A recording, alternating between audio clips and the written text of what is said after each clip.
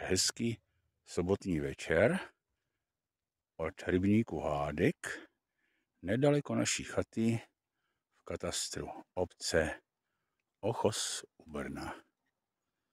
Můžeme se podívat, tady se prý dříve dalo krásně koupat na té plážičce a tak je to nejen, že to zarůstá lekníny, ale ta voda je nevábná. A hlavně je plná bahna, tam je prostě no, asi půl metru vody a víc jak metr hustýho tmavého bahna.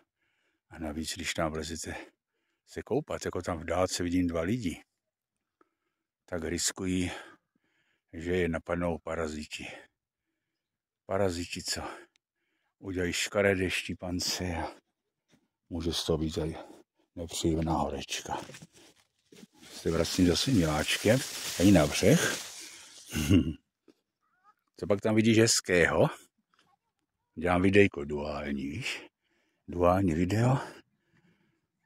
No a půjdeme se podívat, schladit pěkně, protože je strašně dusno dneska, že?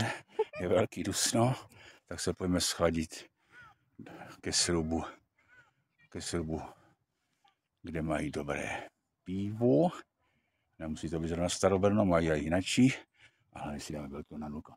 Že jo, čokoládový. Tak jo. Mějte se hezky, mějte se fajn.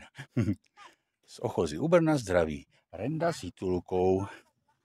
Žádný tramvaják, máme dovolenou.